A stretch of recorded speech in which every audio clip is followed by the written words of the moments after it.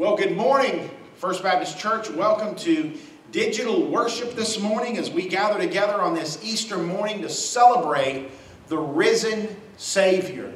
And it's a little different this Easter. The sanctuary is not packed out, but hopefully your living room is packed out. You're gathered together with the body of Christ. And uh, where, as I've said throughout this, although the church is the church building is closed, the church is alive and active. And so hopefully uh, this is an opportunity for you to worship the risen Savior, think about what Christ did and how he overcame the sting of death. We've got a little uh, video we want to share for you of one of our church members reading Scripture as a call to worship this morning. Reading is from Acts 10, verse 34 through 43. Then Peter opened his mouth and said, in truth, I perceive that God shows no partiality, but in every nation whoever fears him and works righteousness is accepted by him. The word which God sent to the children of Israel, preaching peace through Jesus Christ, he is Lord of all. That word you know, which was proclaimed throughout all Judea, and began from Galilee after the baptism which John preached. How God anointed Jesus of Nazareth with the Holy Spirit and with power, who went about doing good and healing all who were oppressed by the devil, for God was with him. And we are witnesses of all things which he did, both in the land of the Jews and in Jerusalem, whom they killed by hanging on a tree.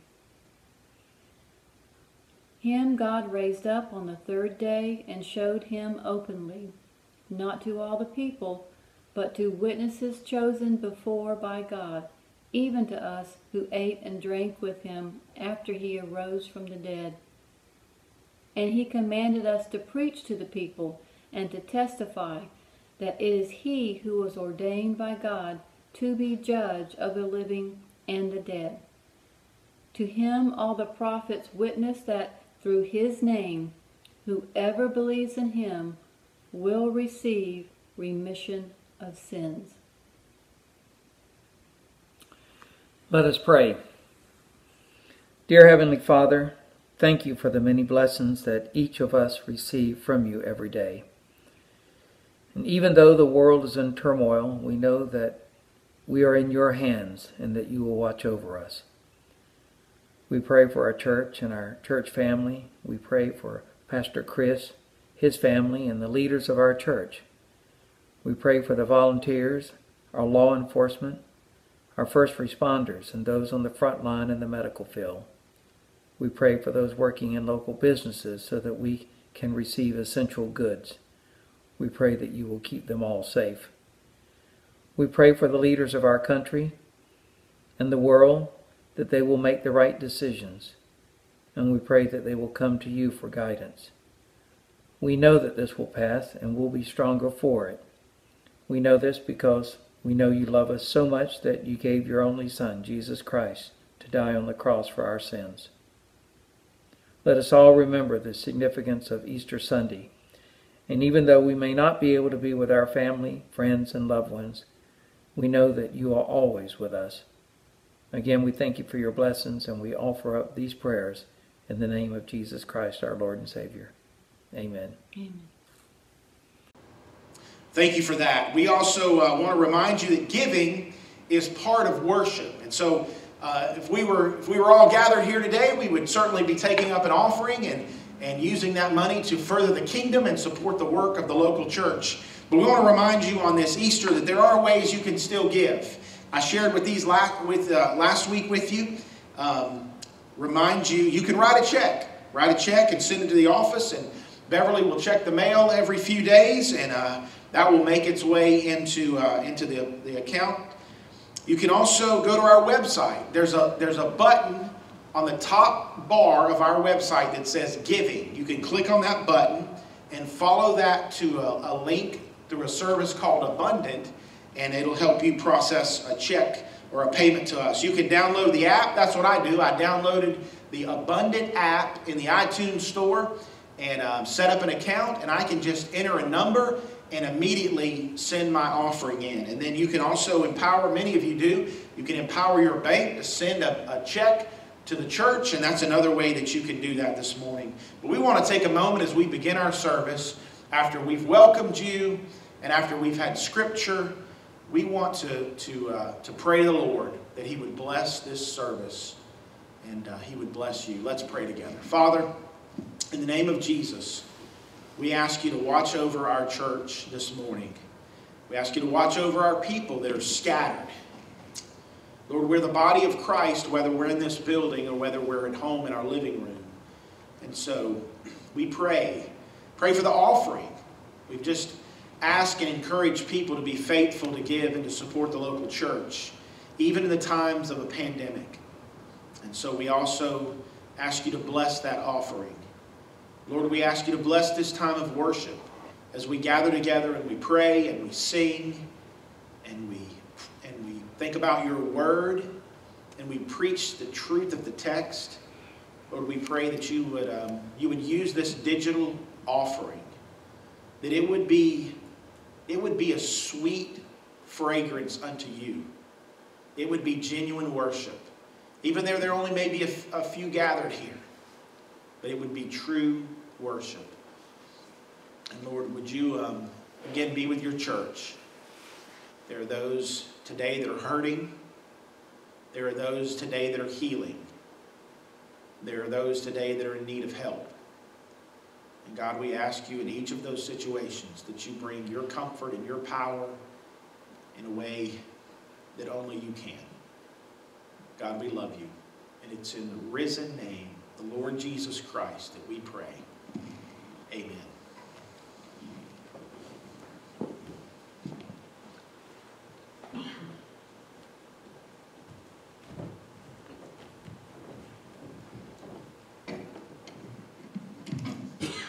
Good morning, church family. We're going to sing a couple of hymns for you at this time. We're going to sing first, He Lives, and then we're going to sing Christ the Lord is Risen Today. Two great hymns of uh, declaring that uh, our Lord and Savior has risen from the dead.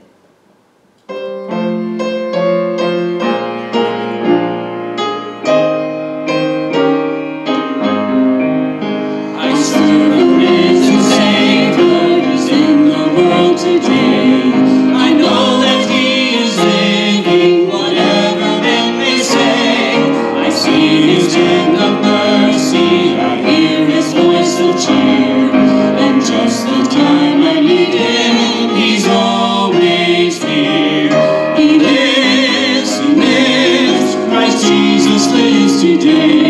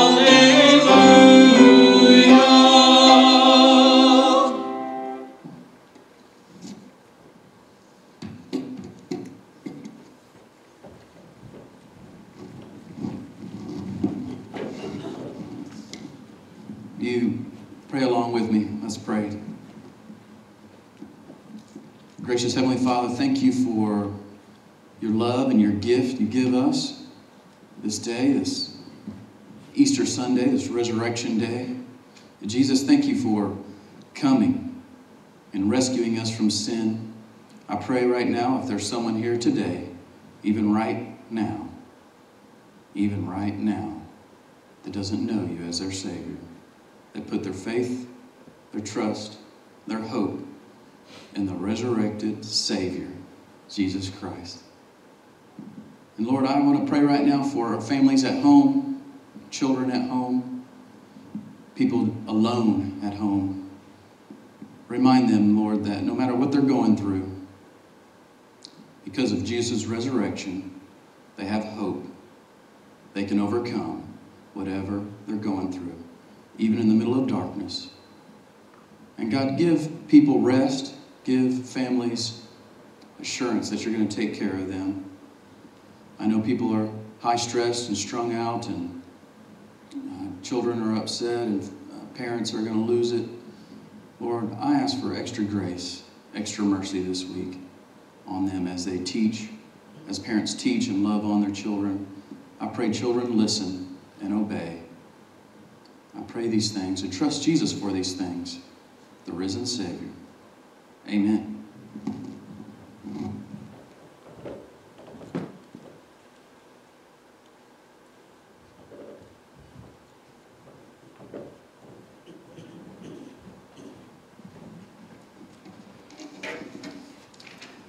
Sing for you at this time. Uh, Healing is in Your Hands. Our choir did it a number of years ago, um, and you'll recognize it, I think, uh, from the radio uh, as one of the praise and worship courses that are often sung. It's got a little age on it, but uh, we think you'll enjoy it.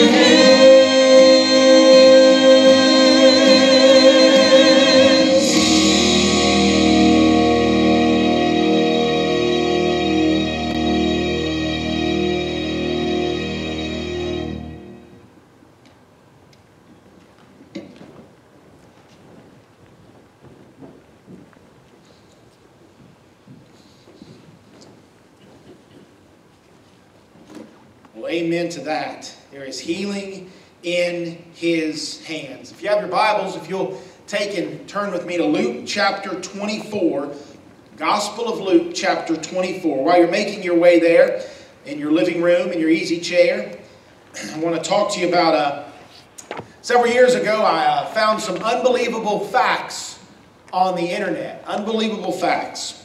Here they are for you. Did you know that the human eye is so sensitive that if the earth were flat, you could spot a candle in the dark from 20 miles away? Alaska is the northernmost, westernmost, and easternmost U.S. state. Antarctica is the world's largest desert. It may not seem like a desert, but Antarctica receives less than two inches of precipitation annually. The Sahara receives almost four inches annually. The Earth's population of ants weighs the same weight of the entire population of humans. Ants outnumber humans 1 million to 1, making up their small size and, and weight when collected together. The deepest part of the ocean is so deep that Mount Everest were to be placed at the very bottom, the peak would still be submerged by more than a mile of water. We all understand the use of YouTube during this time. We sometimes almost can't even make the internet work because we're all at home watching Netflix. But did you know that every day there's 16 years worth of video uploaded on YouTube? Every day, 16 years worth of video is uploaded. If you're over 45, the world's population has doubled in your lifetime. There are, there are whales alive today that were born before Moby Dick was written. And here's my favorite. Will Smith today is now older than Uncle Phil was at the beginning of Fresh Prince. The four people in here actually laughed at that, the four that had seen it.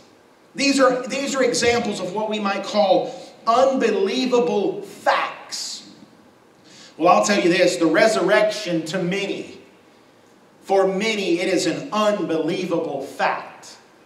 They, they just can't get their head around the idea that, that someone would die on a cross, that, that he would literally stop breathing, not go to sleep, that he would be put in a tomb, and that he would come to life again by the power of God.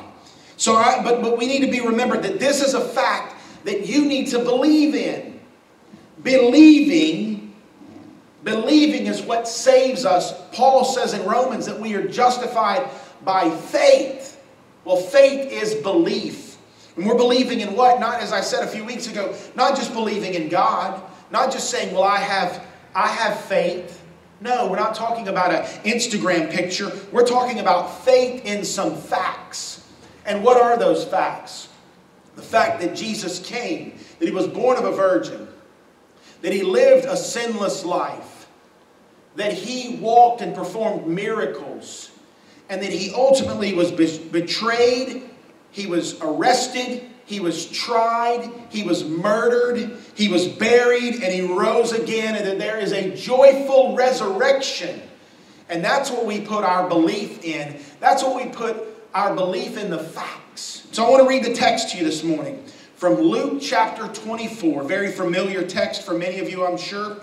The Bible says, beginning in verse 1 of chapter 24, But on the first day of the week, at early dawn, they went to the tomb, taking the spices they had prepared, and they found the stone rolled away from the tomb. And when they went in, they did not find the body of the Lord Jesus. While they were perplexed about this, behold, two men stood by them in dazzling apparel. And they were frightened, and they bowed their faces to the ground. And the men said to them, Why do you seek the living among the dead? He is not here, but he is risen. Remember how he told you while he was still in Galilee that the Son of Man must be delivered into the hands of sinful men and be crucified, and on the third day rise. And they remembered his words, the Bible says. And returning from the tomb, they told all these things to the eleven and all the rest. Now it was Mary Magdalene and Joanne, the mother uh, and Mary, the mother of James, and the other women with them who told these things to the apostles. But these words seemed to them idle talk, almost as if they were even themselves had a hard time believing in this reality.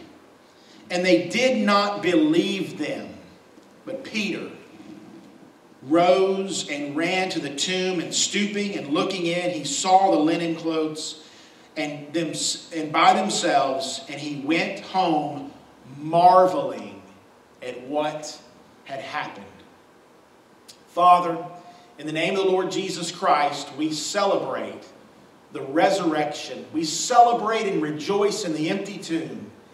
And Father, as we look at this text and we apply it to our lives, might you speak truth to those watching this. Might there be just one person today, as Brooks has prayed, that doesn't know you? Might this be the day that they're faced with the facts of the resurrection? Might you open their heart and might they repent of their sins and put all of their faith in Jesus?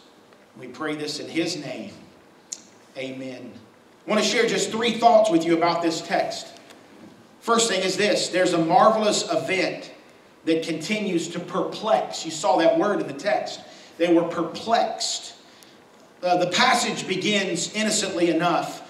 Those that are going to claim the body of Jesus approach the tomb, and instead of finding, instead of finding a sealed tomb, they find the stone rolled away. And they find that the body of Jesus isn't there. The scripture records they're perplexed about this event.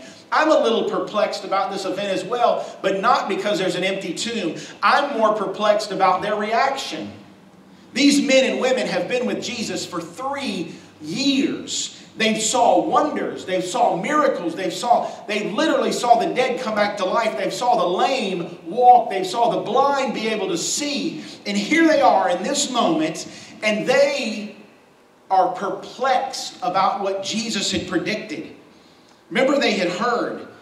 They had heard the Son of Man must be delivered into the hands of sinful men and be crucified, and on the third day rise. Yet they come looking for Him, looking for the body, looking to take care of it. They had forgotten what Christ had promised. Yet when the apostles are informed of the, by the women, it seemed to them, you remember what it says in the text? It seemed to them an idle tale, and they did not believe. Even they had a hard time seeing this prediction fulfilled. Can I be very honest with you? I think that many today continue to be perplexed at this truth. They, they continue to be perplexed at the, the truth of this event, the power of this event, the historicity of this event. Many today find the facts of the resurrection unbelievable. Folks, I'm telling you, it's truth. We believe that the Lord Jesus Christ was crucified, buried, and rose again. And the Bible confirms these things. We believe the Holy Spirit that's taken up residence in our in our hearts, in our, in our bodies, also confirms this fact. So on this day, on this day of Christ's resurrection, it's clear that there was disbelief.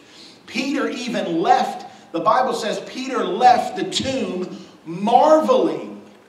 Now that would be best explained being filled with wonder and astonishment at the event. I kind of imagine in my mind Peter walking away, just kind of shaking his head just sort of bedazzled at what has happened. So here's my first challenge to you, friends. On this Easter Sunday, believe. Believe in God. Believe in the Lord Jesus Christ. Believe in the gospel. The Bible affirms that if you believe in your heart and you confess with your mouth, you will be saved. So if you're sitting in that uh, grandma's house, you're sitting at your parents' house, as I always have been preaching to that kid held hostage. This Easter is a good Easter to believe in the gospel, believe in the cross, the finished work, the blood stained old rugged cross, and the empty tomb. But I have a second question for you. It's a timeless question that should still be pondered, and here it is. Why do you seek the living among the dead? Wow, what a beautiful language that's given here in this text. The grave couldn't hold Jesus. Though the power of God, the, through the power of God, the Son of God overcame death. There's no tomb, there's no headstone, there's no head marker, there's nothing. Because Christ overcame the sting of death. Many look for solutions to their problems among dead and decaying things of this world. I've said over and over, I always like to share it, that everything in life has a built in fizzle. Told you the story of my two lazy boys and my wife's yappy little dog, and realizing that everything in life has a built in fizzle, but that's where we look for the answers. But you know what? The things of God the things of God don't have a built in fizzle. Jesus isn't found among the dead things because he is no longer dead. Instead, Jesus is, fa- is found among the living because he lives and he brings life to the dead. Listen to what it says in Ephesians chapter 2.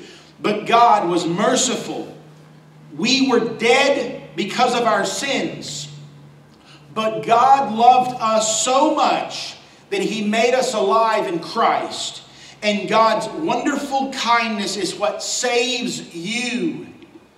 God raised us from death to life with Christ Jesus. And He has given us a place beside Christ in heaven, the Bible says.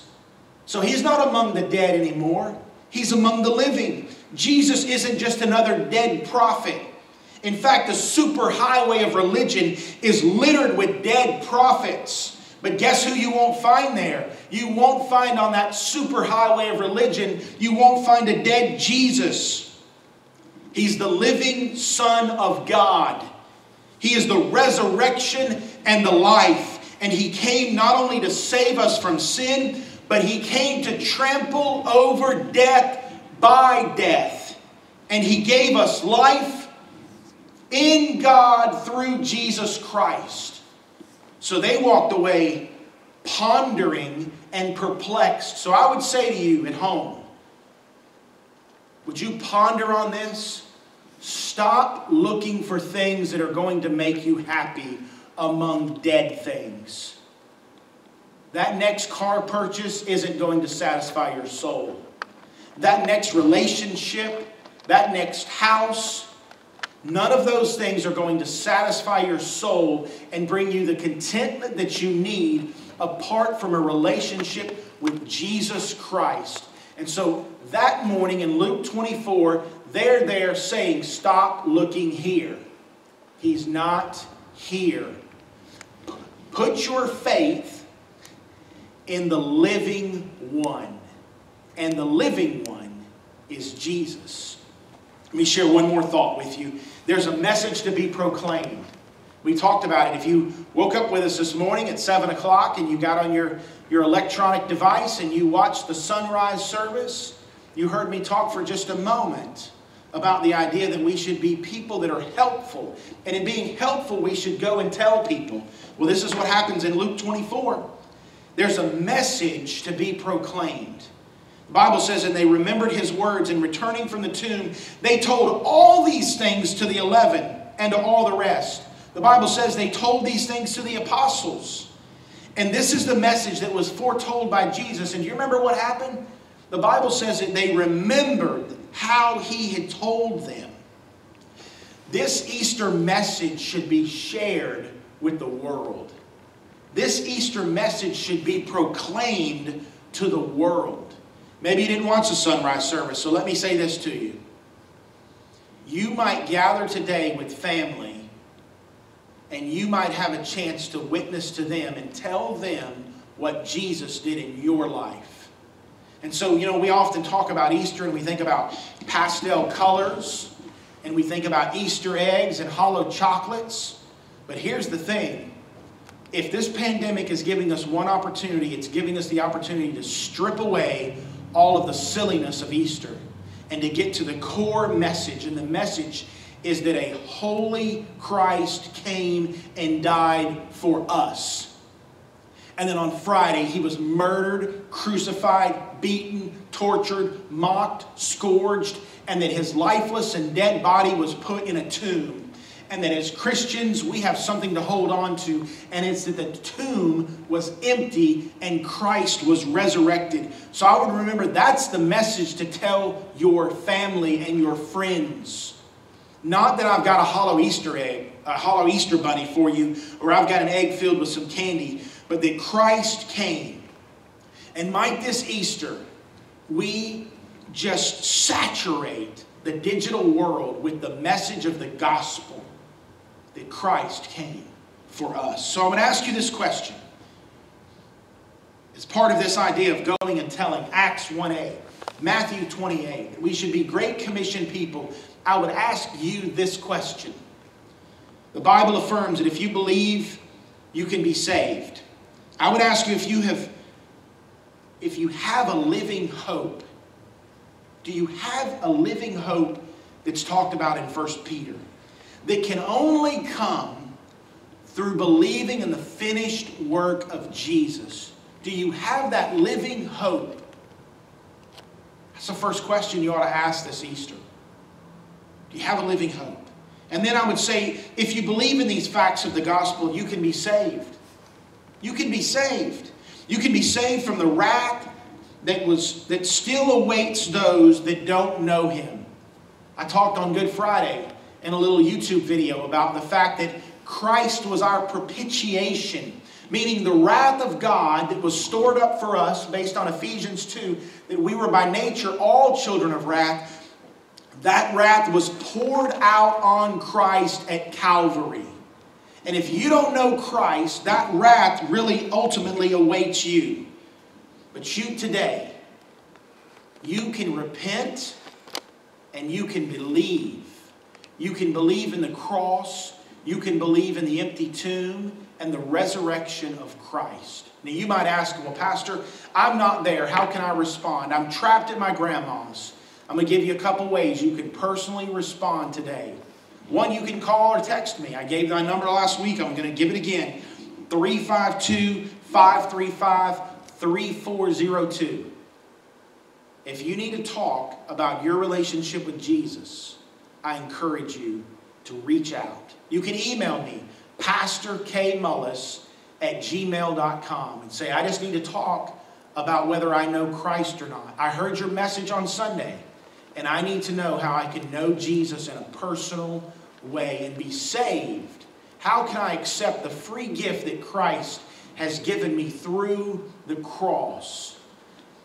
I pray that this message is a message of truth for you. I pray that this message is a message of resurrection and hope and joy and celebration. That there was an empty tomb. There was an empty tomb as they gathered there to collect his body. There was no body. And we can put all of our confidence in the cross and in the resurrection. I'm going to pray for you. We're going to sing. And I just, I just ask that you just have a joyful day in the Lord as you celebrate the resurrection of the Savior of the world. Let's pray. Father, in the name of Jesus, thank you. Thank you, Father, for sending your Son. And now your Son, the Bible tells us, is sending us out to the highways and hedges, out to places to go and tell and proclaim the truth of the Bible, the truth of God's Word, the truth of the gospel. Lord, I pray for those at home that are listening to this. There might just be one that doesn't know you. Would you change their life today? I pray this message for those that are, that are shut in, that are sheltering in their homes, that it might be a message of encouragement, that their hope rests in an empty tomb. And Lord, we thank you. We thank you that the work is finished. The work of our Savior is finished. We rejoice and celebrate in Jesus' name. Amen.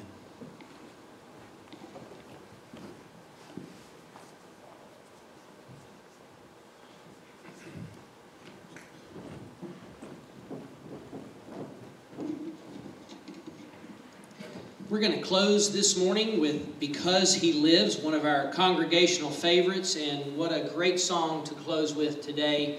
And it is because He lives that we can face tomorrow. So belt it out from your living room, and we'll belt it out from here.